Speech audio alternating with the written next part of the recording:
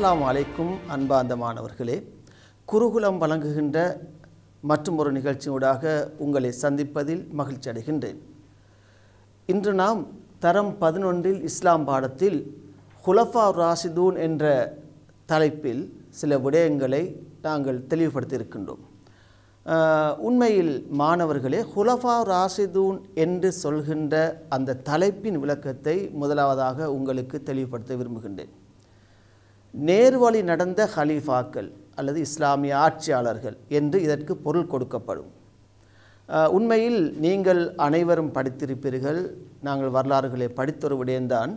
இஸ்லாமிய வரலாற்றில் இஸ்லாமிய சாம்ராஜ்யம் உருவாக்கப்பட்டதன் பிறகு இஸ்லாமிய அரசு அமைக்கப்பட்டதன் பிறகு ஹலீஃபாக்கள் அந்த ஆட்சியை வழிநடத்தியிருக்கின்றார்கள். அதில் மிக முக்கியமாக முதன்மையான ஆரம்ப ஹலீஃபாக்கள் நான்கு பேரை பற்றித்தான் இந்த பாடத்தில் நாங்கள் கற்க இருக்கின்றோம் நான்கு ஹலீஃபாக்கள் உங்களுக்கு தெரியும். அபுபக்கர் அலி அல்லாஹு அன்ஹு உமர் அலி அல்லாஹு அன்ஹு உஸ்மான் அலி அல்லாஹு அன்ஹு அலி அலி அல்லாஹு அன்ஹு. இந்த நான்கு ஹலீஃபாக்களும் இஸ்லாமிய ஆட்சியில் ஹிலாஃபத்தில் மிக முக்கியமானவர்களாக கருதப்படுகின்றார்கள். அந்த வகையில் நாங்கள் கடந்த பாடங்களில் அபுபக்கர் அலி அல்லாஹு அன்ஹு உமர் அலி அல்லான் அவர்களை பற்றி கற்றிருக்கின்றோம். இந்த பாடத்தில் உஸ்மார் அலி அல்லாஹு அன்ஹு அலிர் அலி அல்லாஹு அன்ஹு ஆகிய இருவரை பற்றி தான் நாங்கள் பார்க்க போகின்றோம்.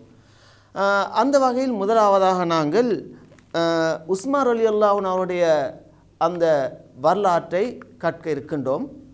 உஸ்மார் அலி அல்லாஹன் அவர்களின் பாடத்தை கற்கின்ற போது நாங்கள் அடைகின்ற தேர்ச்சி தேர்ச்சி மட்டம் கற்றல் பெயர்கள் என்பவற்றை முதலாவதாக இங்கு நான் தெளிவுபடுத்த விரும்புகின்றேன். தேர்ச்சி என்று சொல்கின்ற போது நபிமார்கள் சஹாபாக்கள் முன்னோர்களின் வாழ்க்கை முறையை கற்று அவர்களின் முன்மாதிரிகளை ஏற்று நடப்பர். உண்மையிலே மாணவர்களே வரலாறு என்பது வெறுமனே படித்துவிட்டு மறந்து விடுகின்ற ஒன்றாக இருக்க முடியாது. முன்னோர்களின் வரலாற்றை கற்பதன் ஊடாக அவர்களால் காட்டப்பட்ட நல்ல வழிகாட்டல்களை எமது வாழ்வில் எடுத்து நடப்பது மிக முக்கியமானதாகும்.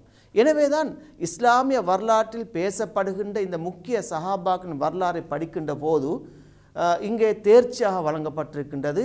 அதில் அவர்களின் வாழ்க்கையிலிருந்து முன்மாதிரியை எடுத்து நடக்கக்கூடிய ஒரு தன்மை தோன்றும் என்று. அடுத்து நாங்கள் அதன் தேர்ச்சி மட்டத்தை பார்க்கின்ற போது மிக முக்கியமான அந்த நான்கு ஹலீஃபாக்களில் உஸ்மார் அலி அல்லாஹன் அவர்களின் வாழ்வை தனிப்பட்ட வாழ்க்கை முறையை அவர்கள் செய்த அரசியல் பங்களிப்புகள் பற்றி நாங்கள் கற்பதனூடாக அவர்களின் வாழ்வில் இருந்து நல்ல விடயங்களை எங்களால் அறிந்து அவர் சமூகத்துக்காக செய்த பங்களிப்பை எங்களால் விளக்க முடியும் என்ற அந்த தேர்ச்சி மட்டத்தை இந்த பாடத்தை கற்பதனூடாக நாங்கள் விளங்கிக் கொள்கின்றோம். அடுத்து இந்த பாடத்தை கற்பதனூடாக பெற்றுக்கொள்கின்ற கற்றல் பேறுகள் என்று முதலாவதாக நான் தெளிவுபடுத்த விரும்புகின்றேன். உஸ்மார் அலி அல்லாஹன் அவர்களின் ஆளுமை பற்றி எடுத்து கூறக்கூடிய ஒரு விளக்கத்தை எங்களால் பெற்றுக்கொள்ள முடியும். உஸ்மார் அலி அவர்கள் ஹலீஃபாவாக தெரிவு செய்யப்பட்ட முறையினை விஃபர்க்க விபரிக்கலாம் இந்த பாடத்தை கற்பதனூடாக. அதே நேரம் உஸ்மார் அலி அல்லாஹ் அவர்கள் சமூகத்துக்கும் இஸ்லாமிய அரசுக்கும் செய்த சேவைகளை எங்களால் புரிந்து கொள்ள முடியும். உஸ்மார் அலி அல்லானவர்கள் ஹிலாஃபத்தின் எதிர்நிலைகளை எவ்வாறு நேர்மைய சிந்தனையோடு மிக நேர்த்தியாக நிதானமாக கையாண்டு தீர்த்து வைத்தார்கள் ஆட்சி புரிந்தார்கள் என்ற விடயத்தை இந்த பாடத்தை கற்பதனூடாக நாங்கள் பெற்றுக்கொள்ள முடியும் என்ற அந்த கற்றல் பேறுகளை முதலாவதாக உங்களுக்கு நினைவுபடுத்திவிட்டு அடுத்து நான் பாடத்துக்கு செல்கின்றேன்.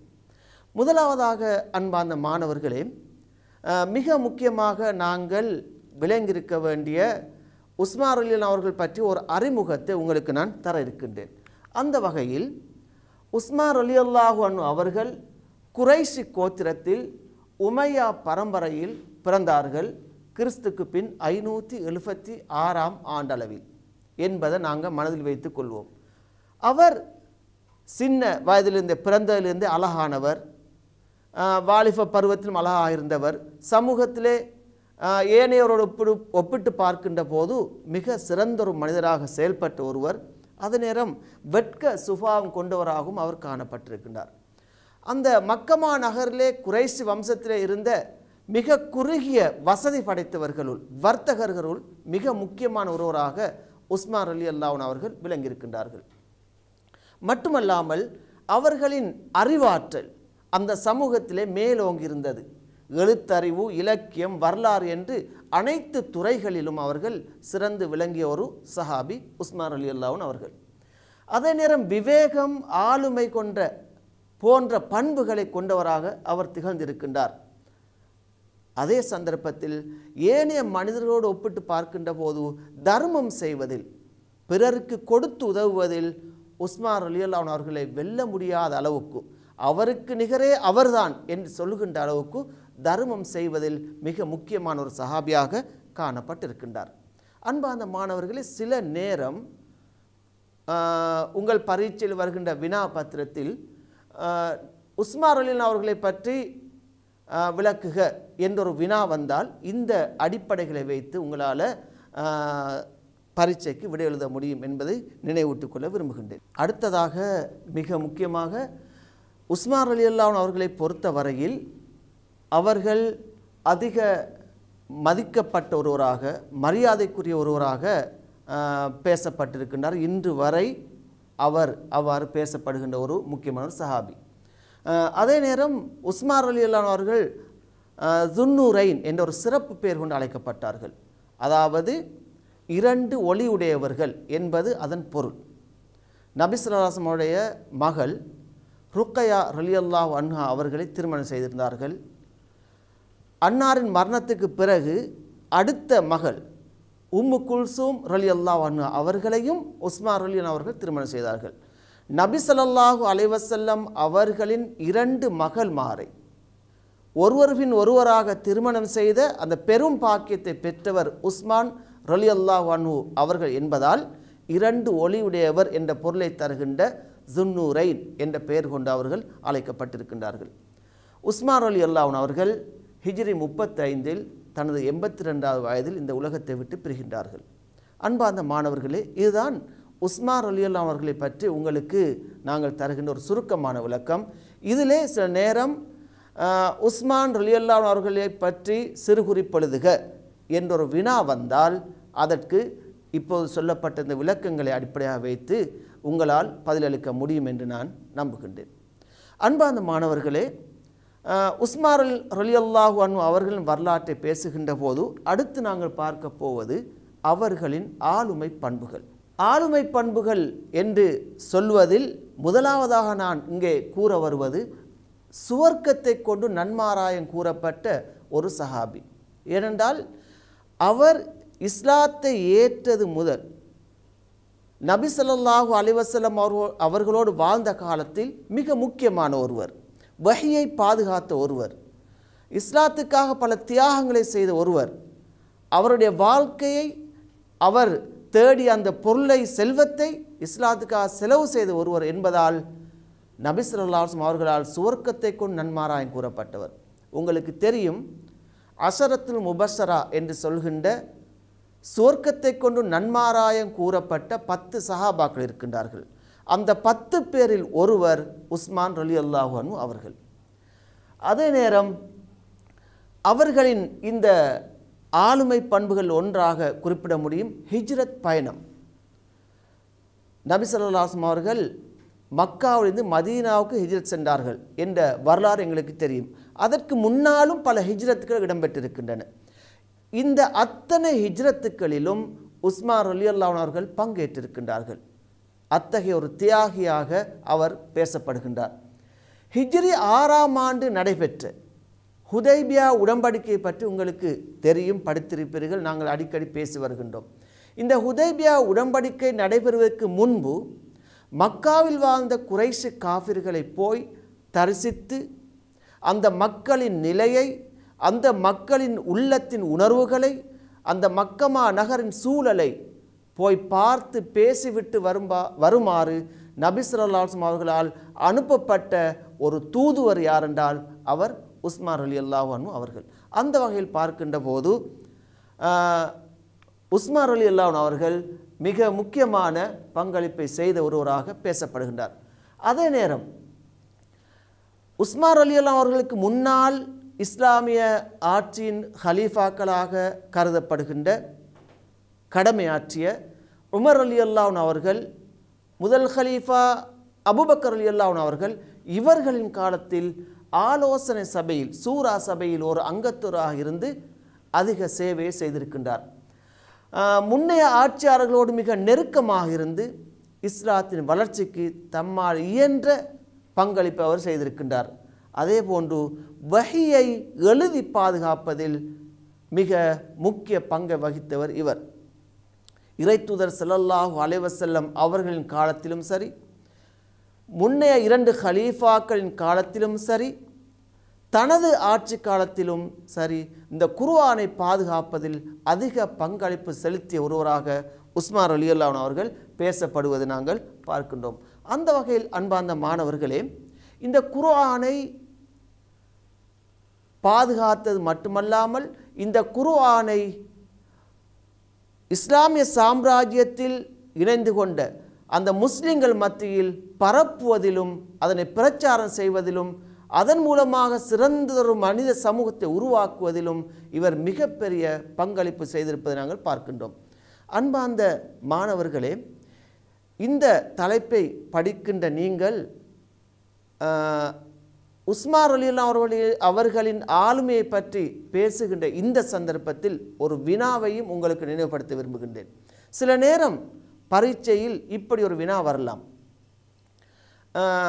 பின்வரும் ஹலீஃபாக்களின் ஆளுமை பண்புகளை தருக என்று சொல்லி இரண்டு ஹலீஃபாக்களின் பெயர்களை குறிப்பிட்டு வரலாம். அல்லது உஸ்மார் அலியல்லா அவர்களின் ஆளுமை பண்பை எடுத்து கூறுக என்று வரலாம். இப்படி ஒரு வினா வந்தால் இப்பொழுது சொல்லப்பட்ட இந்த அடிப்படையில் அதற்கான விடை எழுதுவதற்கு நீங்கள் உங்களை தயார்படுத்திக் கொள்ளுங்கள் என்று நினைவுபடுத்த விரும்புகின்றேன். அன்பார்ந்த மாணவர்களே அடுத்ததாக நாங்கள் செல்கின்ற மிக முக்கியமான ஒரு பகுதி ஹலீஃபா தெரிவு. இஸ்லாமிய கிலாஃபத்தின் மூன்றாவது ஹலீஃபாவாக உஸ்மான் ரலியல்லாஹன் அவர்கள் எப்படி தெரிவு செய்யப்பட்டார்கள் என்ற ஒரு சுருக்கமான வரலாறு இருக்கின்றது. உங்களுக்கு தெரியும் உமர் அலி அல்லாஹன் அவர்கள் இரண்டாம் ஹலீஃபா. இந்த உலகத்தை விட்டு அவர்கள் பிரிகின்ற சந்தர்ப்பத்தில் அவர்கள் அகால மரணமடைந்தார்கள் என்ற செய்தி எங்களுக்கு வரலாறுகளில் காண கிடைக்கின்றது. நாங்கள் படித்திருக்கின்றோம்.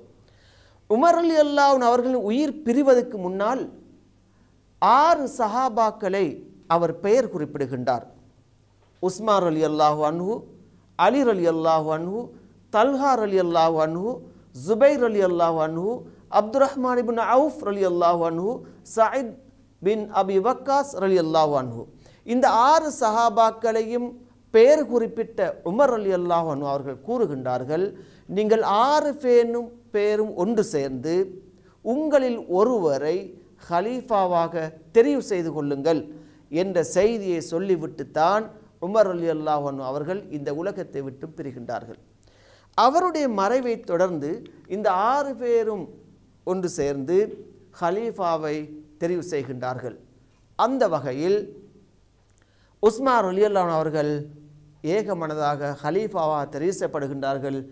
தெரிவு செய்யப்பட்டதன் பிறகு முதன் முதலாக அப்துல் ரஹ்மான் பின் அவுஃப் அலி அவர்கள் அவர் ஹலீஃபாவாக தெரிவு செய்யப்பட்ட அந்த விடயத்தை பிரகடனப்படுத்தி பையத் செய்கின்றார்கள் சத்திய பிரமாணம் செய்கின்றார்கள். அதனைத் தொடர்ந்து ஏனைய சஹாபாக்களும் பையத் செய்தார்கள். இதுதான் ஹலீஃபாவாக தெரிவு செய்யப்பட்ட விதம்.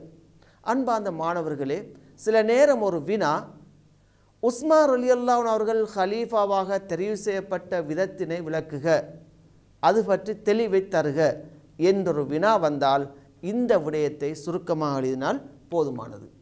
அடுத்து நாங்கள் பார்க்க போகின்ற மிக முக்கியமான ஒரு பகுதி உஸ்மான் ரலி அல்லாஹு அவர்கள் இஸ்லாத்திற்கும் இஸ்லாமிய சமூகத்துக்கும் அந்த இஸ்லாமிய அரசுக்கும் செய்த பணிகள் பங்களிப்புகள் பற்றிய சிறியதொரு விளக்கம். அவர் செய்த மிக முக்கிய ஒரு பங்காக பங்களிப்பாக அல் குர்வான் பாதுகாக்கப்பட்டமை பேசப்படுகின்றது. உண்மையிலேயே குர்ஆன் எவ்வாறு பாதுகாக்கப்பட்டது என்றொரு வினா வந்தால் அல்லது அல் குர்ஆன் எப்படி தொகுக்கப்பட்டது என்றொரு வினா வந்தால் உஸ்மான் அலியுல்லா அவர்களின் பெயரும் அவர் அதன் பாதுகாப்புக்கு செய்த பணியும் நிச்சயமாக பேசப்படும் அல்லது அதுக்கு விடையாக எழுதப்படும். ஏனென்றால் உஸ்மார் அலி அல்லா அவர்களின் காலம் வருகின்ற போது இஸ்லாமிய சாம்ராஜ்யம் விரிவடைகின்றது. அரபிகள் மட்டுமல்லாது அஜமிகளும் அரபு மொழி பேசாதவர்களும் கூட இஸ்லாத்தில் இணைந்த காலம் அது. ஆகவே இஸ்லாத்தில் வாழ்கின்ற முஸ்லிம்களுக்கும் புதிதாக இணைந்து கொண்டவர்களுக்கும் அல் குர்வானின் போதனையை போதிக்கப்பட வேண்டிய ஒரு காலம் அது. மூன்றாம் ஹலீஃபாவின் அந்த ஆட்சி காலம் அப்பொழுது யாரெல்லாம் குர்வானை மனனம் செய்திருந்தார்களோ அவர்களும் யாரெல்லாம் குர்ஆனை ஆங்காங்கே எழுதி வைத்திருந்தார்களோ அவர்களும் தான் அறிந்தவற்றை கொண்டு அல் குர்ஆன் போதனையை மக்கள் மத்தியில் செய்தார்கள். அல் குர்ஆனை போதித்தார்கள். அல் குர்ஆனை ஓதி காண்பித்தார்கள். அதனை பிரச்சாரம் செய்தார்கள். ஆனால் அது அரச அங்கீகாரத்துடன் இடம்பெறவில்லை. எனவே உஸ்மார் அலி அவர்கள் இந்த நிலையை பற்றி சிந்திக்க ஆரம்பித்தார்கள். அதற்கான ஆலோசனைகளை சில சஹாபாக்கள் வழங்கினார்கள். இப்படி அரச அங்கீகாரம் இல்லாமல் தனிப்பட்ட ரீதியாக குர்ஆன் போதனை செய்யப்படுகின்ற போது அல்லது எழுதப்படுகின்ற போது அல்லது தொகுக்கப்படுகின்ற போது இந்த குர்ஆனை பாதுகாப்பது பெரும் சவாலாக மாறிவிடுமோ என்ற ஒரு அச்சம் அந்த சமூகத்திலே தோன்றுகின்றது. எனவே உஸ்மார் அலி அல்லாவன் அவர்கள் ஜெய்துபின் சாபித் அலி அல்லாஹன் அவர்களின் தலைமையில் ஒரு குழுவை நியமித்து அவர்களுக்கு அந்த பாரிய பணியை ஒப்படைக்கின்றார்கள். நீங்கள் குர்ஆனை ஒழுங்காக பாதுகாக்க வேண்டும் என்று. எனவே ஏற்கனவே முதலாம் ஹலீஃபா அபுபக்கர் அலி அல்லாஹன் காலத்தில் தொகுக்கப்பட்ட ஒரு பிரதி ஹப்சார் அலி அல்லாஹ் அன்வா அவர்களின் கையில் இருந்தது. அந்த பிரதியின் உதவி கொண்டும் ஏனைய ஹாஃபில்களின் உதவி கொண்டும் எழுதப்பட்ட அந்த ஏடுகளின் உதவி கொண்டும் ஜெய்திபின் சாபித் ரலி அல்லாஹ் அன்வு அவர்களின் தலைமையிலான ஒரு குழு அல் குர்வானை முறையாக முழுமையாக தொகுக்க ஆரம்பிக்கின்றது. அல் குர்வான் பிரதியையும் ஹாஃபில்களையும் பல பிரதேசங்களுக்கு அனுப்பி வைத்து உஸ்மான் அலி அல்லான் அவர்கள் இந்த குர்ஆனை பாதுகாக்கின்ற மிகப்பெரிய பாரிய அந்த பணியை செய்திருக்கின்றார்கள். எனவேதான் அவர் இன்று வரை ஜாமி உல் குர்ஆன் அல் குர்ஆனை ஒன்று திரட்டியவர் என்ற சிறப்பு பெயர் கொண்டு அழைக்கப்படுகின்றார். உஸ்மான் அலி அல்லாவன் அவர்கள் செய்த மிக முக்கியமான ஒரு பணியாக பேசப்படுவது கடற்படையை உருவாக்குதல். உண்மையில் எங்களுக்கு தெரியும் அரேபியா ஒரு தீபகற்பம். அப்போ மூன்று பகுதிகள் கடல் பிரதேசங்களால் சூழப்பட்ட ஒரு நாடு. எனவே அந்த நாட்டை பாதுகாக்கின்ற போது போலீஸ் படை ஏனைய இராணுவம் இருப்பது போன்று கடற்படையும் தேவைப்பட்டது. அதன் அவசியம் அன்று உணரப்பட்டது. எனவே மிக பொருத்தமான விதத்தில் அந்த கடற்படையை உருவாக்கி சிறந்ததொரு பாதுகாப்பு முறையை உஸ்மான் அலியுல்லான் அவர்கள் அறிமுகம் செய்திருக்கின்றார்கள். அதே நேரம் ஆட்சி இஸ்லாமிய ஆட்சி முறை விஸ்தரிக்கப்பட்டதும் உஸ்மான் அலியுல்லாவனுடைய காலத்தில் தான். ஏனென்றால் நான் ஆரம்பத்திலே சொன்னேன் அரபிகள் மட்டுமல்லாது அஜமிகளும் கூட இஸ்லாத்துக்குள் படிப்படியாக வந்து கொண்டிருந்த காலம். இஸ்லாமிய சாம்ராஜ்யம் விரிவடைந்த காலம். எனவே சிறந்த ஒரு ஆட்சி முறையொன்று அந்த அரேபியாவிலே உருவாக்கப்படுவதற்கு வித்திட்டவர்கள் உஸ்மான் அலி அவர்கள் என்று சொல்ல முடியும். அதே போன்று அரசியல் நிர்வாக ரீதியாக பல பங்களிப்புகளை செய்தவர் உஸ்மான் அலி அவர்கள். சிறந்தொரு சிறந்ததொரு ஆட்சி முறை அமைய வேண்டும். சிறந்ததொரு நிர்வாக முறை அமைய வேண்டும் என்பதில் மிக கவனமாக இருந்து உஸ்மான் அலி அவர்கள் செயல்பட்டிருக்கின்றார்கள். அதே போன்று அவர்கள் பலவிதமான அபிவிருத்தி பணிகளை அந்த நாட்டிலே செய்திருக்கின்றார்கள். இன்றும் கூட பேசப்படுகின்ற அளவுக்கு சிறந்த முன்மாதிரியான பணிகளை நிர்வாக முறையினை அந்த இஸ்லாமிய ஆட்சியிலே தமது காலத்திலே அவர்கள் காட்டினார்கள் செய்து காட்டினார்கள் என்பதை உங்களுக்கு நான் இந்த இடத்தில் நினைவுபடுத்த விரும்புகின்றேன். அன்பார்ந்த மாணவர்களே சில நேரம் ஒரு வினா வரலாம். உஸ்மார் அலியுல்லான் அவர்கள் இஸ்லாத்துக்கு செய்த பங்களிப்பு இஸ்லாமிய ஆட்சியில் செய்த பணிகள் என்ற வினா வருகின்ற போது இந்த விளக்கங்களை சுருக்கமாக நீங்கள் எழுதி கொண்டால் போதுமானது. அன்பாத மாணவர்களே இதுவரை நாங்கள் ஹுலஃபா ராஷிதூன்கள் என்ற அந்த ஹலீஃபாக்களில் மூன்றாம் ஹலீஃபாவான உஸ்மார் அலி அல்லாஹன் அவர்களை பற்றிய ஒரு பகுதியை நாங்கள் பார்த்தோம். இனி நான்காம் ஹலீஃபாவான அலி அலி அல்லாஹான் அவர்களை பற்றிய ஒரு பகுதியை நாங்கள் பார்க்க போகின்றோம். இஸ்லாமிய ஆட்சியில் மிக முக்கியமானவர்களாக கருதப்படுகின்ற முதல் நான்கு ஹலீஃபாக்களை படிப்படியாக நாங்கள் பார்த்து வருகின்றோம். இப் இதுவரை நாங்கள் மூன்றாம் ஹலீஃபாவான உஸ்மார் அலியல்லா அவர்களை பார்த்துவிட்டு அவர்களை பற்றிய சில விளக்கங்களை நாங்கள் பேசிவிட்டு இப்பொழுது நான்காம் ஹலீஃபா அலி அலி அவர்களை பற்றி தான் நாங்கள் பார்க்க போகின்றோம். இவர் கிறிஸ்துக்கு பின் அறுநூற்றி ஐம்பத்தி ஆறு முதல் கிறிஸ்துக்கு பின் அறுநூற்றி அறுபத்தி ஒன்று வரையுள்ள சுமார் ஐந்து வருடங்கள் இஸ்லாமிய ஹிலாஃபத்தின் ஹலீஃபாவாக ஆட்சியாளராக கடமையாற்றினார்கள் என்பதை நாங்கள் நினைவில் வைத்துக்கொள்வோம். இப்பொழுது நாங்கள் இந்த பாடத்தை கற்பதனூடாக பெறுகின்ற தேர்ச்சி அடுத்தது தேர்ச்சி மட்டம் என்பவற்றை பார்ப்போம். நாங்கள் ஏற்கனவே உஸ்மார் அலி அல்லான் அவர்களை பற்றி பேசுகின்ற போது தேர்ச்சியாக இதனைத்தான் குறிப்பிட்டிருந்தோம். நபிமார்கள் சஹாபாக்கள் முன்னோர்களின் வாழ்க்கை முறையை கற்று அவர்களது முன்மாதிரிகளை ஏற்று நடப்பர். எனவே பொதுவாக உஸ்மார் அலி அவர்களை பற்றி நாங்கள் படித்தாலும் அவர்கள் முன்மாதிரியை கற்று அதன் மூலமாக எமது வாழ்வை சீராய்க் கொள்ள முடியும். அதேபோன்று அலிர் அலி அல்லாஹ் அவர்களை பற்றி நாங்கள் பேசினாலும் அவர்களின் வரலாற்றை நாங்கள் படித்தாலும் அதன் மூலமாகவும் அவர்கள் காட்டிய முன்மாதிரிகளை எங்களால் பெற்றுக்கொள்ள முடியும். எனவே தேர்ச்சி என்பது அந்த இரண்டு தலைப்புக்கும் ஒன்றாகத்தான் இருக்கின்றது என்பதை மனதில் வைத்துக்கொள்வோம் தேர்ச்சி மட்டம் என்று சொல்கின்ற போது ஹுலஃபா ராஷ்தீன்களில் மூன்றாம் ஹலி ஹலீஃபா உஸ்மார் அலி அல்லாஹ் அவர்களின் வாழ்க்கை வரலாறை படித்தது போன்று நான்காம் ஹலீஃபா அலிர் அலி அல்லாஹ் அவர்களின் வாழ்க்கையை படிக்கின்ற போது அவர்களின் தனிப்பட்ட வாழ்க்கை முறை அரசியல் வாழ்க்கை முறை அரசுக்கு செய்த பங்களிப்பு என்பது என்பவனை பற்றி எம்மால் தெளிவாக விளங்கிக் கொள்ள முடியும் என்பதை இந்த தேர்ச்சி மட்டத்தினூடாக நாங்கள் தெளிவுபடுத்த விரும்புகின்றோம். இந்த பாடத்தை கற்பதனூடாக நாங்கள் பெற்றுக்கொள்கின்ற கற்றல் பெயர்கள் என்னவென்றால் அலிர் அலி அல்லாஹ் அவர்களின் ஆளுமை பற்றி எடுத்து கூறுவர். அதே நேரம் அலிர் அலி அல்லாஹ் அவர்கள் இஸ்லாத்தை ஏற்ற முறையை அவர் இஸ்லாத்துக்கு செய்த சேவையை எடுத்து காட்டுவர். மற்றொரு கற்றல் பெயராக எங்களால் முன்வைக்க முடியும். அலிர் அலி அல்லாஹன் அவர்கள் ஹலீஃபாவாக தெரிவு செய்யப்பட்ட சூழ்நிலை அதே நேரம் அவர் அரசுக்கு செய்த சேவை என்பவற்றை விளங்கிக் கொள்ள முடியும்.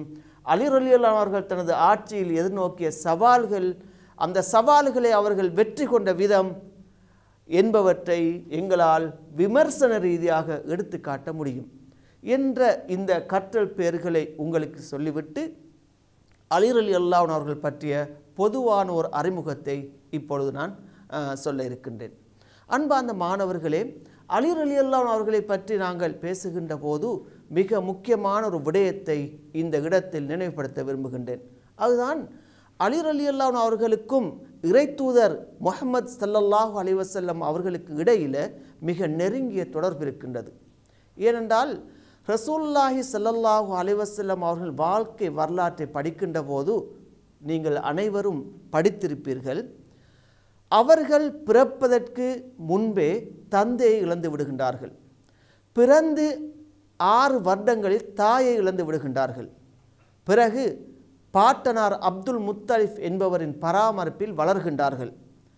அவருடைய மறைவைத் தொடர்ந்து தனது தந்தையான அப்துல்லா என்பவரின் உடன்பிறப்பான அபூ தாலிப் என்பவரின் பராமரிப்பில் இறைத்தூதர் செல்லல்லாஹு அலைஹி அவர்கள் வளர்க்கப்பட்டார்கள் வளர்ந்தார்கள் என்பதை நாங்கள் வரலாற்றில் படித்திருக்கின்றோம்.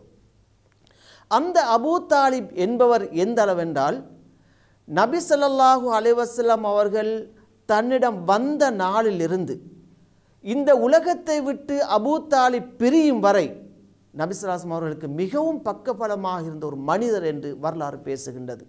அது மிக மறக்க முடியாத அனைவராலும் திரும்ப திரும்ப பேசப்படுகின்ற மிக முக்கியமான ஒரு செய்தி வரலாறு அது. அபூ தாலிப் என்பவர் கிட்டத்தட்ட நபிசல்லாஹூ அலைவசலம் அவர்கள் எட்டு வயதளவில் அவரிடம் ஒப்படைக்கப்பட்டார்கள். நபிசுலாசம் அவர்களின் ஐம்பதாவது வயதில்தான் அபூ தாலிப் மரணிக்கின்றார். அப்போ கிட்டத்தட்ட நாற்பத்தி ரெண்டு வருடங்கள் இறைத்தூதர் ஸல்லல்லாஹு அலைஹி வஸல்லம் அவர்களோடு இருந்து அவர்களுக்கு நபிப்பட்டம் கிடைப்பதற்கு முன்பும் கிடைத்ததன் பிறகும் பூரணமான பாதுகாப்பை வழங்கிய அபூ தாலிப். அந்த அபூ தாலிப் என்பவரின் மகன்தான் அலி அலி அல்லாஹனு அவர்கள். எனவே நபிசல்லாஹு ஸல்லல்லாஹு அவர்களின் வளர்ந்த வீட்டில் பிறந்த குழந்தைதான் அபு அபு தாலிபின் மகன் அலி ரலியல்லாஹு அன்னு அவர்கள். எனவே அந்த குழந்தை பருவத்திலிருந்தே இறைத்தூதர் தூதர் அலைஹி அலைவசல்லம் அவர்களோடு மிகவும் நெருக்கமாக இருந்த ஒருவர் அலி ரலியல்லாஹு அவர்கள். எனவேதான் இஸ்லாம் வந்தபோது இஸ்லாமிய தூதை இறைத்தூதர் தூதர் அலைஹி அலைவசம் அவர்கள் சொன்னபோது பத்து வயதில் அந்த இஸ்லாம் அறிமுகமாகின்ற போது அலிரலில்லா அவர்களுக்கு பத்து வயது. அந்த பத்து வயதில் சிறுவர்களில் முதன் முதலாக இஸ்லாத்தை ஏற்றுக்கொண்டவர் அலிர் அலி அல்லாஹன் அவர்கள் என்று வரலாறு பேசுகின்றது. எனவே அலிர் அலி அல்லாஹன் அவர்கள் நபி ஸல்லல்லாஹு அலைஹி அவர்களின் அரவணைப்பில் தான் வளர்ந்திருக்கின்றார்கள். நபி மீது அதிகமான அன்பையும் பாசத்தையும் அவர்கள் கொண்டிருந்தார்கள் என்பதை இந்த இடத்தில் உங்களுக்கு நினைவுபடுத்துகின்றேன். அன்பார்ந்த மாணவர்களே அலிர் அலி அல்லாவின் அவர்கள் மிகப்பெரிய வீரர். எனவே அசதுல்லா அல்லாவின் சிங்கம் என்று அவர் அழைக்கப்பட்டிருக்கின்றார். அவர் வீரம் விவேகம் கொண்டவர். அதே நேரம் மார்க்க தீர்ப்புகளை வழங்குவதில் அவர் வல்லுனர் அவருக்கு ஒரு பிரச்சனை சொல்லப்பட்டால் ஒரு பிரச்சனைக்கான தீர்வு கேட்கப்பட்டால் உடனடியாக அல் குர்ஆனையும் ரசூல்லாய் ஸல்லல்லாஹு அலைவசல்லம் அவர்களின் சுண்ணாவையும் அடிப்படையாக கொண்டு மிக துல்லியமாக நிதானமாக தீர்ப்பளிக்கக்கூடிய ஆற்றல் கொண்டவராக அலி அல்லா அவர்கள் இருந்திருக்கின்றார்கள். முன்னைய ஹலீஃபாக்கள் மூன்று பேரின் காலத்திலும் அபுபக்கர் அலி அல்லாஹானு உமர் அலி அல்லாஹானு உஸ்மார் அலி அல்லாஹ் அவர்கள். இந்த மூன்று பேரின் காலத்திலும் இவர் மிக முக்கியமான இடத்திலிருந்து தேவையான ஆலோசனைகளை வழங்குகின்ற ஆலோசனை சபையில் அவர்கள் இருந்திருக்கின்றார்கள். அதே நேரம் இஸ்லாத்தின் பாதுகாப்புக்கும் சிறந்த ஆட்சி நிர்வாகத்துக்கும் அலிர் அலி அவர்கள் மிகப்பெரிய பங்களிப்பை செய்திருக்கின்றார்கள் என்பதை இந்த இடத்தில் உங்களுக்கு நினைவுபடுத்த விரும்புகின்றேன். அடுத்ததாக அலிர் அலி அவர்களை பற்றி நாங்கள் பேசுகின்ற போது அவர்களின் ஆளுமை பண்புகளை நாங்கள் பார்க்கலாம். நான் ஏற்கனவே சொன்னது போன்று அவர்கள் எல்லா வகையிலும் வீரம் விவேகம் கொண்ட அதே நேரம் அவர் மிக பெரும் ஆளுமை. மனித சமூகத்தில் ஆளுமைக்கு ஒரு உதாரணம் யார் என்று கேட்டால் அலி என்று பேசுகின்ற அளவுக்கு ரலி மிக முக்கியமான ஆளுமை கொண்டவராக இவர் திகழ்ந்திருக்கின்றார். இஸ்லாமிய பணிகளில் சமூக பணிகளில் அதிக ஈடுபாட்டோடு இருந்த ஒருவர் அலி அவர்கள். அவருக்கு அவருடைய வாழ்வு அவருடைய மரணம் எதுவென்று கேட்டால் இஸ்லாம் என்று சொல்கின்ற அளவுக்கு அந்த இஸ்லாத்தின் மீது அதிக பற்று கொண்டவராக சிறு வயதிலிருந்தே இருந்த ஒருவர்தான் அலி அலி அல்லாஹன் அவர்கள். அதே போன்று ஹிஜ்ரத்தின் போது நபி அவர்களின் படுக்கையில் உறங்கியவர் உங்களுக்கு வரலாறு தெரியும். நபி அவர்கள் தன்னுடைய ஐம்பத்தி இரண்டாம் வயதின் இறுதி பகுதியில் அல்லது ஐம்பத்தி மூன்றாம் வயதின் ஆரம்ப பகுதியில் மக்காவில் இருந்து மதீனாவுக்கு ஹிஜ்ரத் சென்றார்கள். அந்த சம்பவம் எங்களுக்கு தெரியும். ஓர் இக்கட்டான நிலையில் வீட்டில் இருக்கின்ற நபி அவர்களை குறைஷி காஃபிர்கள் சூழ்ந்து கொள்கின்ற சூழ்ந்து கொள்கின்ற ஒரு சந்தர்ப்பத்தில் அந்த வீட்டிலிருந்து விடைபெற்று மக்கா நகரை விட்டும் மதீனாவுக்கு செல்ல வேண்டும் என்ற அல்லாவின் உத்தரவு வருகின்றது இறைத்தூதர் ஸல்லல்லாஹு அலைஹி வஸல்லம் அவர்களுக்கு. இப்பொழுது மக்காவை விட்டு மதீனாவுக்கு செல்கின்ற நபி அவர்கள் தனது படுக்கையில் ஒருவரை படுக்க வைத்துவிட்டு உறங்க வைத்துவிட்டு செல்ல வேண்டிய ஒரு கட்டாயத்தில் இருக்கின்றார்கள். சஹாபாக்களை கேட்கின்றார்கள் நான் செல்ல போகின்றேன் அல்லாவின் அனுமதி வந்துவிட்டது இந்த படுக்கையில் யார் உறங்க இருக்கின்றீர்கள்? அலிர் அலியல்லாம் அவர்கள் சொல்கின்றார்கள் யார் சூழல்லா நீங்கள் போய் வாருங்கள். நீங்கள் ஹிஜ்ரத்தை ஆரம்பியுங்கள். உங்கள் படுக்கையில் நான் உறங்குகின்றேன் என்று தயங்காது சொன்ன ஒரே ஒரு சஹாபி அலிர் அலி அல்லாஹன் அவர்கள். எனவே ஹிஜ்ரத்தின் போது அலி அல்லா அவர்கள் அந்த படுக்கையில் உறங்கியது இன்று வரை வரலாற்றில் பேசப்படுவதை நாங்கள் பார்க்கின்றோம். ஆகவே இது அவர்களின் ஆளுமையை குறிக்கின்ற ஒரு விடயமாக கருதப்படுகின்றது. அதே நேரம் இவர் ஒரு சிறந்த குதிரை வீரர் பலசாலி. அலிர் அலி அல்லாஹன் அவர்களோட யாருக்கும் எந்த ஒரு விடயத்திலையும் வெற்றி கொள்ள முடியாத அளவுக்கு மிக பலம் வாய்ந்த ஒருவராக பேசப்படுகின்றார். அவர் எத்தகைய சவாலையும் ஏற்றுக்கொள்கின்ற ஆற்றலுடையவர்? அவருக்கு இந்த சவால்கள் பிரச்சனைகள் குழப்பங்கள் என்பது பொருட்டே இல்லை. எப்பொழுதும் எதனையும் தாராளமாக முகங்கொடுக்கக்கூடிய அந்த நம்பிக்கை உள்ளவர். அவர் சொல்வார் நான் எதற்கும் எங்கும் பயப்பட வேண்டிய அவசியமில்லை. அல்லாஹு தாலா என்னோடு இருக்கின்றான். அல்லாஹு தாலா என்னோடு இருக்கின்றான். அல்லாஹ் என்னை பாதுகாப்பான். அல்லாஹ் தான் எனக்கு பக்கபலமாக இருப்பான் என்ற அந்த உறுதியான ஈமான் உள்ளவராக பேசப்பட்ட ஒருவர் தான் அலிர் அலி அல்லாஹன் அவர்கள்.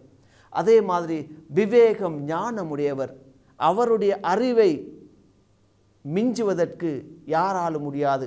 அந்தளவு மிக திறமைசாலியாக விவேகமுள்ளவராக ஆற்றல் உடையவராக கருதப்பட்ட ஒருவர் அலிர் அலி அல்லாஹன் அவர்கள்.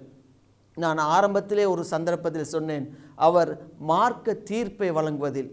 ஒரு பிரச்சனை ஒன்று வருகின்ற போது அந்த பிரச்சனைக்கு நிதானமாக முறையான தீர்வு வழங்குவதில் மிக முக்கிய ஒரு சஹாபியாக அலிர் அலி அல்லான் அவர்கள் கருதப்பட்டிருக்கின்றார்கள். அன்பார்ந்த மாணவர்களே அடுத்து நாங்கள் பார்க்க போவது நான்காம் ஹலீஃபாவாக அலிர் அலி அல்லான் அவர்கள் தெரிவு செய்யப்பட்ட அந்த முறையை. உஸ்மார் அலி அவர்கள் அகால மரணமாகின்றார்கள். எங்களுக்கு தெரியும் இஸ்லாமிய வரலாற்றில் இஸ்லாமிய ஹிலாஃபத்தில் மிக முக்கியமான ஹலீஃபாக்கள் நான்கு பேர் என்று ஆரம்பத்தில் நான் சொன்னேன். அதில் மூன்றாவது ஹலீஃபா உஸ்மார் அலி அல்லாஹன் அவர்கள் மரணத்தை தொடர்ந்துதான் இவர் அந்த ஹிலாஃபத் பொறுப்புக்கு வருகின்றார் அவர் நிற்பந்த சூழலில் பதவியேற்கின்றார் அதாவது ஒரு அவசரமாக தலைமைத்துவத்தை ஏற்க வேண்டிய ஒரு கட்டாயத்தின் பேரில் அலிர் அலி அல்லான் அவர்கள் அந்த பொறுப்பை எடுக்கின்றார்கள்.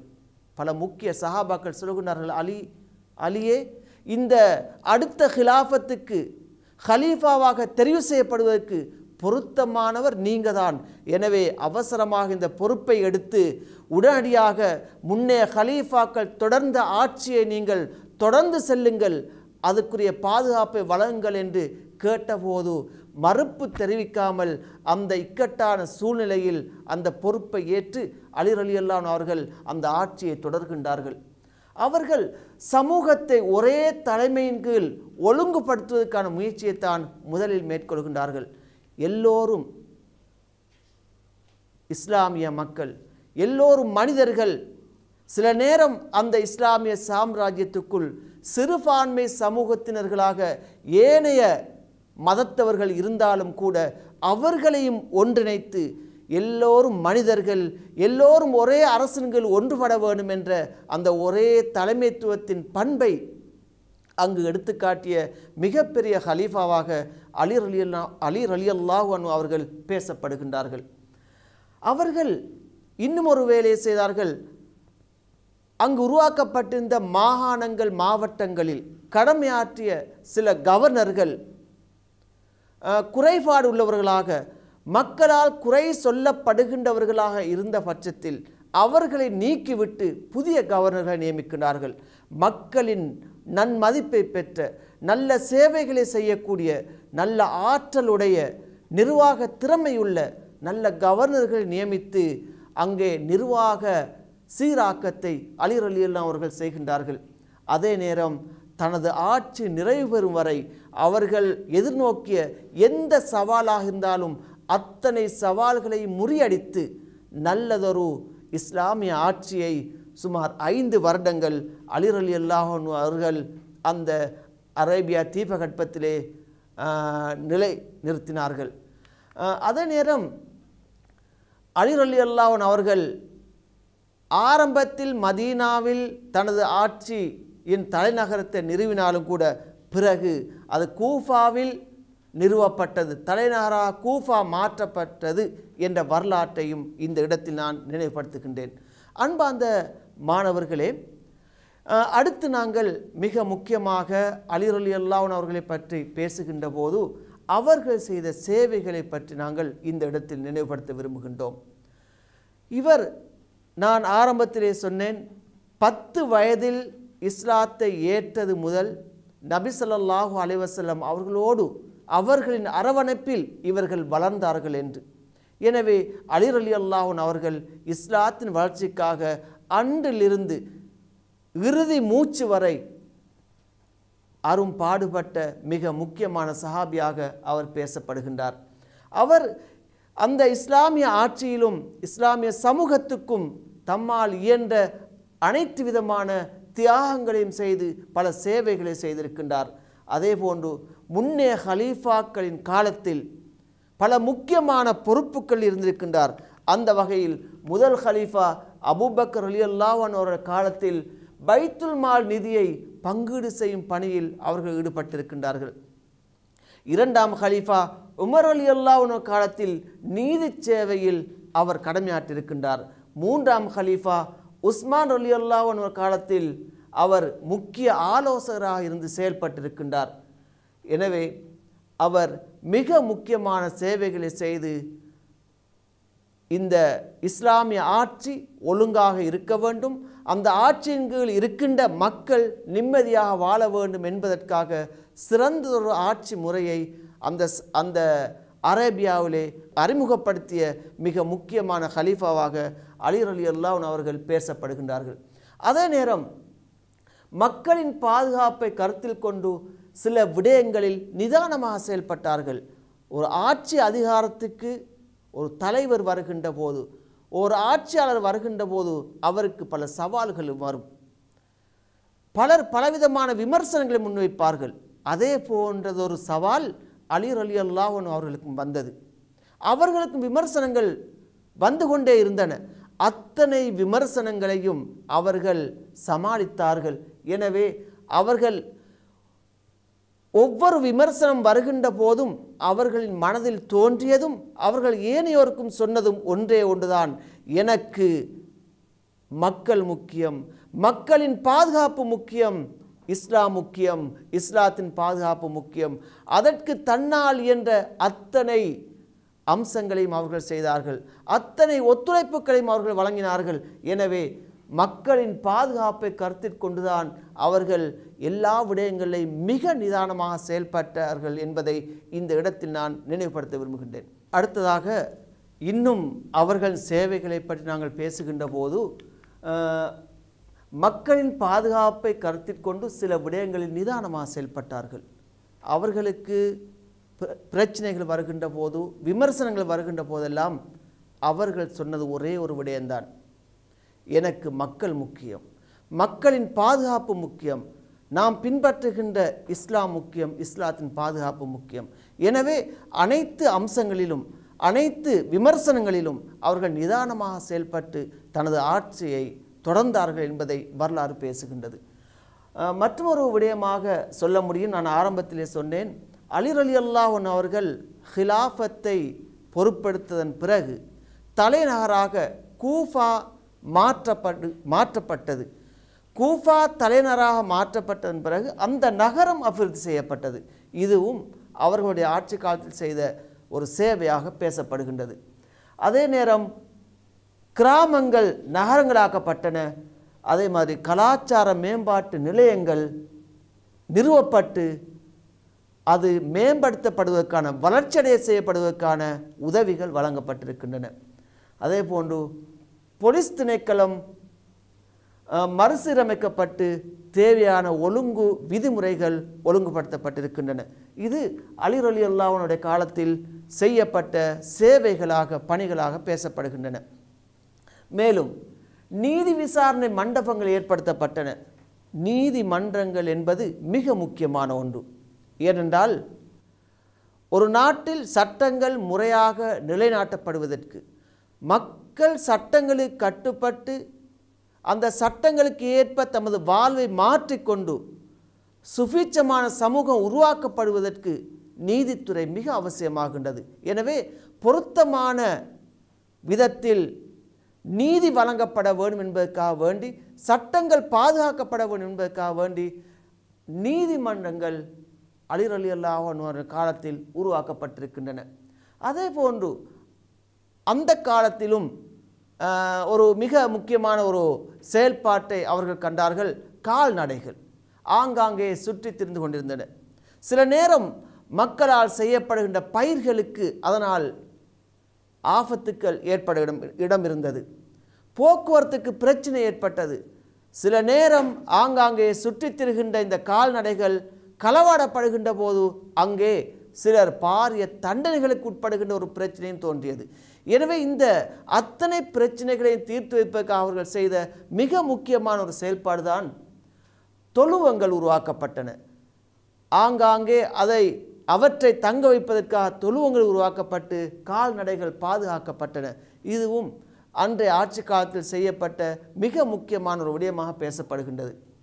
அதே போன்று சிறைச்சாலைகள் உருவாக்கப்பட்டன.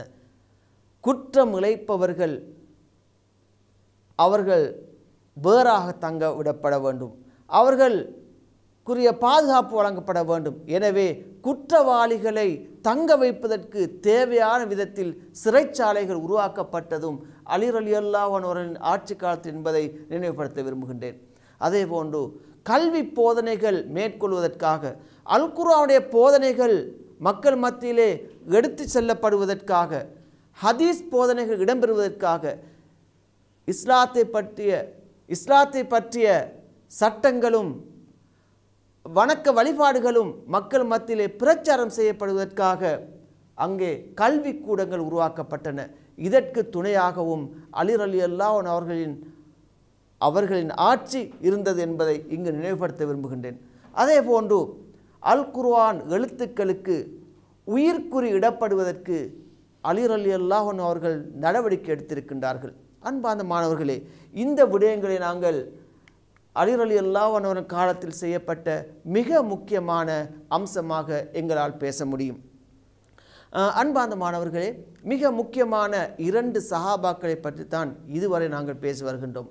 முதலாவதாக நான் மூன்றாம் ஹலீஃபா உஸ்மான் அலி அல்லாவன் அவர்களை பற்றி பேசினேன். அவர்கள் சிறு வயதிலிருந்து மரணிக்கின்ற வரை அவர்கள் இயல்பு எப்படி இருந்தது? அவர்கள் எப்படிப்பட்டவர்கள்? இஸ்லாத்தை எப்பொழுது ஏற்றுக்கொண்டார்கள்? மக்கள் மத்தியிலே எந்த அளவு செல்வாக்கு பெற்றிருந்தார்கள்? அவர்கள் சமூகத்தோடு எவ்வாறு ஒன்றிணைந்திருந்தார்கள் என்று உஸ்மான் அலி அல்லாவன் அவர்களை பற்றி பார்த்தோம். இரண்டாவதாக நான்காம் ஹலிஃபா அலி அலி அல்லாவன் அவர்களை பற்றி பார்த்தோம். அவர்கள் பிறந்தது வளர்ந்தது யாரின் பராமரிப்பில் இருந்தார்கள்? அவர்கள் இஸ்லாத்தை ஏற்ற விதம் ஹலீஃபாவாக தெரிவு செய்யப்பட்ட விதம் அவர்களின் ஆளுமை பண்பு அவர்களின் பண்பாடுகள் அவர்கள் சமூகத்துக்கு செய்த சேவைகள் என்று அலிர் அலி அல்லானவர்களை பற்றி பார்த்தோம். இந்த இரண்டு சஹாபாக்களின் வரலாற்றை வரலாறை பார்க்கின்ற போது அவர்களின் வாழ்க்கை வரலாற்றிலிருந்து அவர்களின் முன்மாதிரியான வாழ்விலிருந்து எங்களால் நிறைய படிப்பினைகள் பெற்றுக்கொள்ள முடியும். ஒரு மனிதன் இந்த பூமியிலே எப்படி வாழ வேண்டும் என்பதற்கு உதாரண புருஷர்களாக அவர்கள் வாழ்ந்திருக்கின்றார்கள். நாம் எதனை ஏற்க வேண்டும் எதனை விட வேண்டும் எப்படி நடக்க வேண்டும் எப்படி நடக்கக்கூடாது என்பதற்கு வழிகாட்டிகளாக அவர்கள் இருந்திருக்கின்றார்கள். மட்டுமல்லாது அன்பார்ந்த மாணவர்களே மிக முக்கியமான ஒரு செய்தியை அவர்கள் சொல்லிவிட்டு சென்றிருக்கின்றார்கள். அதுதான் சிறந்த ஒரு ஆட்சி முறை ஒரு நல்லாட்சி சிறந்த ஒரு நிர்வாக முறை மக்கள் அனைவரையும் மதிக்கின்ற ஒரு முறை மக்களோடு மக்களாக இணைந்து தலைவன் என்பவன் ஒரு சேவகன் மக்களோடு சேர்ந்து சேவை செய்யக்கூடிய ஒருவன் என்பதை அந்த ஹலீஃபாக்கள் தமது வாழ்க்கையில் எடுத்து காட்டியிருக்கின்றார்கள். இந்த சஹாபாக்களின் வரலாற்றை படிக்கின்ற போது அல்லது இந்த ஹலீஃபாக்களை பற்றி பேசுகின்ற போது அவர்களிருந்து பெற வேண்டிய முன்மாதிரிகள் படிப்பினைகள் நிறைய இருக்கின்றன. உதாரணமாக வணக்க வழிபாடுகள். நாங்கள் வணங்குகின்றோம் ஐந்து நேரம் தொழுகின்றோம் ரமலானில் நோன்பு நோட்கின்றோம் ஜகாத் கொடுக்கின்றோம் ஹஜ் செய்கின்றோம். இவை அனைத்தும் உயிரோட்டம் உள்ளவையாக இருக்கின்றனவா என்பது கேள்விக்குறியாக இருக்கின்றது. எனவே இந்த சஹாபாக்கள் இஸ்லாத்தை பாதுகாப்பதற்கும் அதன் வளர்ச்சிக்கும் தியாகம் செய்து இந்த வணக்க வழிபாடுகள் உயிரோட்டம் உள்ளதாக அமைய வேண்டும் என்பதற்கு எடுத்துக்காட்டாகவும் இருந்திருக்கின்றார்கள். உண்மையிலேயே ரசூல்லாய் ஸல்லல்லாஹு அவர்கள் கூறுகின்றார்கள். நபிசல்லாஹு அலைவாஸ்லம் அவர்களை நாங்கள் பின்பற்ற வேண்டும். அதற்கு பிறகு எமது முன்மாதிரியாக கொள்ள வேண்டியவர்கள் இந்த சஹாபாக்கள். ஏனென்றால் நபி வாழ்வை அணு அணுவாக அவதானித்து பின்பற்றியவர்கள் இந்த சஹாபாக்கள். நபி அவர்களின் சொல்லை நபி அவர்களின் செயலை நபி அவர்கள் அங்கீகரித்தவற்றை நபி அவர்கள் செய்யுமாறு ஏவியவற்றை என்று அத்தனை அம்சங்களையும் இந்த சஹாபாக்கள் அவதானித்து செய்து வந்திருக்கின்றார்கள். முன்மாதிரியான வாழ்க்கையை கொண்டிருக்கின்றார்கள். எனவே எமது ரோல் மாடல் வந்து இந்த சஹாபாக்களாகத்தான் இருக்க வேண்டும். இந்த நவீன காலத்தில் எமது இள குறிப்பாக எமது இளைஞர்களை ஆட்டி படைக்கின்ற இன்னோரன்ன அம்சங்களை இந்த உலகத்தில் நாங்கள் பார்க்கின்றோம். நாங்கள் உண்மையானவர்களாக வாழுமா வாழ வேணுமாக இருந்தால் உண்மையான முஸ்லீமாக எங்களை அடையாளப்படுத்த வேணுமாக இருந்தால் இந்த சஹாபாக்களைத்தான் எமது முன்மாதிரியாக கொள்ள வேண்டும். என்பதற்கு நாங்கள் ஏற்கனவே கற்ற இந்த சஹாபாக்களின் வரலாறு அவர்கள் வாழ்ந்து காட்டிய வழிமுறை எமக்கு துணையாக இருக்கின்றன. அடுத்தவருக்கு அடுத்தவருக்கு கொடுத்துதவுவது. அடுத்தவரோடு பேசுகின்ற போது பேசுகின்ற வார்த்தைகள் பேசுகின்ற போது பேசுகின்ற விதம் எமது வாயிலிருந்து வருகின்ற ஒவ்வொரு வார்த்தையும் எப்படி இருக்க வேண்டும் என்ற அந்த பக்குவத்தை இந்த சஹாபாக்கள் கற்றுக் கொடுத்திருக்கின்றார்கள். உதாரணமாக சஹாபாக்கள் வரலாறை பார்க்கின்றோம். சிலர் அபூபக்கர் அலியல்லாவன் அவர்கள் தமது வாயில் கற்களை போட்டுக்கொள்வார்களாம் ஏன்? தேவையில்லாமல் ஏதாவது பேசிவிடுவோம் என்று பயந்து. இது அவர்கள் முன்மாதிரி. எனவே பேசுகின்ற போது எதனை எப்படி எந்த இடத்தில் யாருடன் எவ்வாறு என்ற அந்த அடிப்படையை இந்த சஹாபாக்களின் வரலாறு எமக்கு கற்றுக் கொடுத்திருக்கின்றது. அலிர் அலி அல்லாஹ் அவர்கள் அவர் வீரமுடையவர் நாங்கள் சொன்னோம். அவர் சக்தி உள்ளவர் நாங்கள் பேசினோம். ஆனால் அவர்களின் உள்ளத்தில் அவர்களின் வழித்தோற்றத்தில் ஒரு பண்பாட்டை ஒரு மனிதத்துவத்தை நாங்கள் கண்டிருக்கின்றோம். உஸ்மார் அலி அல்லான் அவர்கள் அமைதியானவர். வெட்க குணமுடையவர் என்று நாங்கள் பார்த்தோம். அவர்களின் அந்த வாழ்க்கையில் அவர்களின் பேச்சிலும் மூச்சிலும் ஒரு மனிதனின் புனிதத்துவத்தை நாங்கள் பார்க்கின்றோம். எனவே அந்த வாழ்க்கை வரலாற்றை படிக்கின்ற நாங்கள் முன்மாதிரியாக வாழ்வதற்கு நாங்கள் முயற்சிக்க வேண்டும்.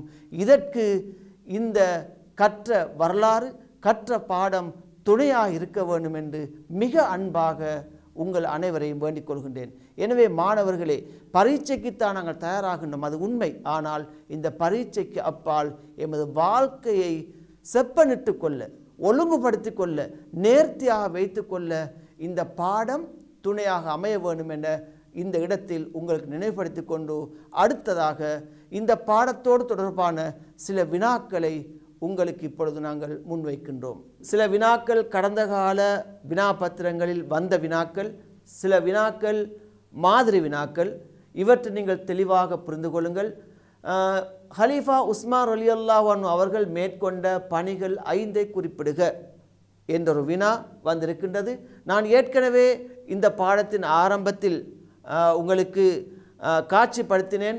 அவர்கள் என்னென்ன பணிகள் இஸ்லாமிய சமூகத்துக்காக தான் தன்னுடைய ஆட்சி அதிகாரத்தில் உள்ள அந்த ஆட்சி நிர்வாகத்தில் செய்தார்கள் என்பதை நான் சுட்டிக்காட்டினேன். எனவே அவற்றிலிருந்து நாங்கள் கற்றவற்றிலிருந்து ஐந்து பண்புகளை இந்த வினாவுக்கு விடையாக நீங்கள் எழுத வேண்டும். இதே வினா மாறி வரலாம். ஹலீஃபா அலிர் அலி அல்லாஹ் அவர்கள் மேற்கொண்ட பணிகள் ஐந்து குறிப்பிடுக. என்று வந்தாலும் நாங்கள் படித்த பாடத்தில் அலிர் அலி அல்லா அவர்கள் செய்த சேவையிலிருந்து நாங்கள் எழுத வேண்டும். உஸ்மார் அலி அல்லா அவர்கள் ஹலீஃபாவாக தெரிவு செய்யப்பட்ட முறையினை விவரிக்குக. என்றொரு வினா நான் இங்கே காட்சிப்படுத்தியிருக்கின்றேன். அவர்கள் ஹலீஃபாவாக தெரிவு செய்யப்பட்ட முறையை நான் தெளிவாக நான் ஆரம்பத்திலே சொன்னேன். உமர் அலி அல்லாஹ் அவர்கள் மரணிப்பதற்கு முன்னால் ஆறு சஹாபாக்களை குறிப்பிட்டு நீங்கள் ஆறு பேரும் சேர்ந்து ஒருவரை ஹலீஃபாவாக தெரிவு செய்து கொள்ளுங்கள் என்று சொல்லிவிட்டு அவர்கள் மரணித்து விட்டார்கள். அவரின் மரணத்துக்கு பிறகு அந்த ஆறு பேரும் சேர்ந்து உஸ்மான் அலியன் அவர்கள் ஹலீஃபா தெரிவு செய்யப்பட்டார்கள் என்ற அந்த வரலாற்றை நான் உங்களுக்கு சொன்னேன். அதனை நீங்கள் இதற்கு விடையாக எழுத முடியும். அலிர் அலி அவர்களால் மேற்கொள்ளப்பட்ட பணிகள் இரண்டு தருக. நான் ஏற்கனவே ஆரம்பத்தில் சொன்னது போன்ற ஒரு வினா இரண்டோ அல்லது மூன்றோ நாங்கள் படித்தவற்றிலிருந்து கேட்கின்ற சில நேரம் நான்கு என்று வரலாம் சில நேரம் இரண்டு என்று வரலாம் சில நேரம் ஐந்து என்றும் வரலாம். அந்த கேட்கப்படுகின்ற அந்த வினாவுக்கு ஏற்ற மாதிரி நீங்கள் விடை எழுதி கொள்ள வேண்டும். அடுத்தது அலிர் அலி அல்லாஹ் அவரிடம் காணப்பட்ட ஆளுமை பண்புகள் இரண்டை தருக என்று ஒரு வினா. இது இரண்டாயிரத்தி பதினாறாம் ஆண்டு வினா பத்திரத்தில் வந்த ஒரு வினா. இதற்கு நீங்கள் அவர்களின் ஆளுமை பண்புகள் நிறைய நாங்கள் படித்திருக்கின்றோம். அவற்றிலிருந்து நீங்கள் பெற்று நீங்கள் அவர்களின் ஆளுமை பண்புகளை இரண்டோ அல்லது கேட்கப்படுகின்ற அந்த தொகைக்கேற்ப நீங்கள் எழுதி கொள்ள வேண்டும் என்று இந்த இன இடத்தில் நினைவுபடுத்த விரும்புகின்றேன். நல்லது மாணவர்களே இத்தோடு இன்றைய பாடத்தை நாங்கள் நிறைவு செய்து கொண்டோம் இந்த பாடத்தை நீங்கள் மீண்டும் பார்க்க வேண்டுமாக இருந்தால் சேனல் என்ஐ யூடியூப் ஊடாக உங்களால் பார்க்க முடியும் என்ற விடயத்தை நினைவுபடுத்தி கொண்டு கற்ற பாடத்திலிருந்து நீங்கள் பயனை பெற்றிருப்பீர்கள் நினைக்கின்றோம். உங்கள் பரீட்சைக்கு மட்டுமல்லாது உங்கள் வாழ்க்கைக்கும் இந்த பாடம் துணையாக அமைய வேண்டும் என பிரார்த்தித்து குருகுலம் வழங்கிய இன்றைய நிகழ்ச்சியோடு நாங்கள் நிறைவு செய்து கொள்கின்றோம்.